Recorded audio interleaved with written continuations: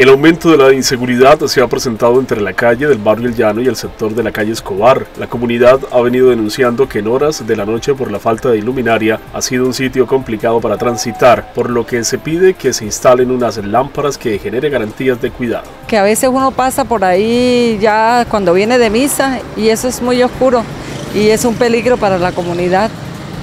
Entonces necesitamos el alumbrado, hay una, una, buena lámpara como colocaron aquí en, el barrio del Llano. Una buena lámpara para poder transitar nosotros los habitantes del barrio del Llano cuando vengamos de misa o de cualquier, eh, eh, como te dijera yo, una actividad en el centro. Entonces pedimos una lámpara al alumbrado público. Bueno, eso también se torna eh, bastante fácil para los delincuentes. Sí, señor, mucho chirrete.